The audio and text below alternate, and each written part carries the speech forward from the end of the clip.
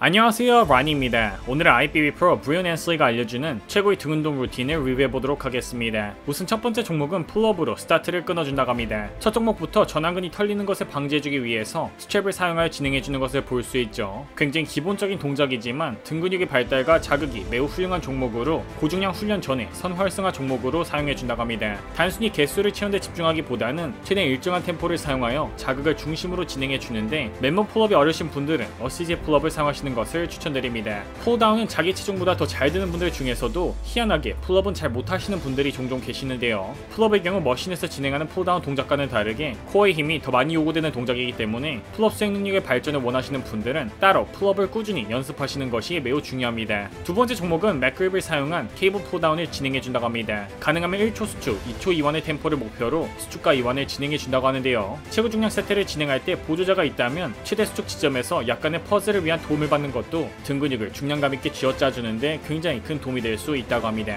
브리언의 경우 얇은 허리가 classic physique 종목에 있어서 매우 중요한 요소라고 생각하고 있기 때문에 자신의 벨트를 기준으로 대회 1, 2주 전에는 벨트 가장 마지막 구멍에 맞추는 것을 목표로 다이어트와 운동을 빡세게 진행해준다고 합니다. 세 번째 종목은 incline machine row를 진행해준다고 합니다. 이때 광배근보다는 등 중상부의 두께감 발달이 목표이기 때문에 견갑골을 최대로 활용하여 최대 수축과 이완을 가져가며 등 중상부 근육들을 전체적으로 쥐어짜주는 것이 포인트라고 합니다. 이어서 machine을 사용한 row를 사용하여 광배근을 위주로 targeting해 주는데 이전 동작과는 다르게 팔꿈치를 최대한 몸통에 붙인 상태로 광배 하부를 위주로 수축을 진행해 주는 것을 볼 수 있죠. 견갑골을 강하게 모아준다는 느낌으로 진행하게 되면 견갑골을 중심으로 한 등 상부 수축 자극이 더 강해지기 때문에 광배 하부 발달을 목적으로 row 동작을 진행할 때에는 보시는 것처럼 팔꿈치의 궤도가 가장 중요하다고 합니다. 특히 운동 중후반부에는 중량을 선택하기보다는 중량을 좀 더 낮추더라도 자극에 충실하는 것을 더 추천하는데 아무래도 피로도가 쌓인 후반부에 중량을 선택하게 되면 그만큼 더 자극과 집중도가 떨어지면서 운동의 효율성이 떨어질 수 있기 때문이라고 합니다.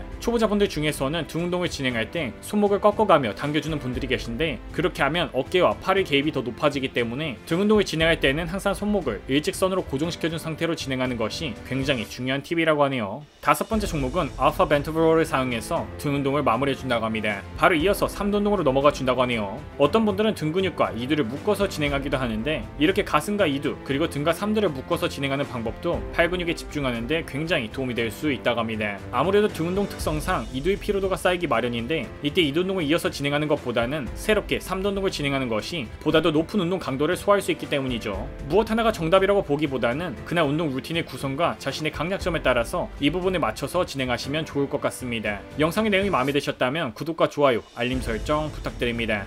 혹시 브리언 앤스의 더 많은 영상을 보고 싶으신 분들은 유튜브에 브리언 앤스를 검색해 보시기 바랍니다. 구독자분들 모두 건강하시고 득근하세요.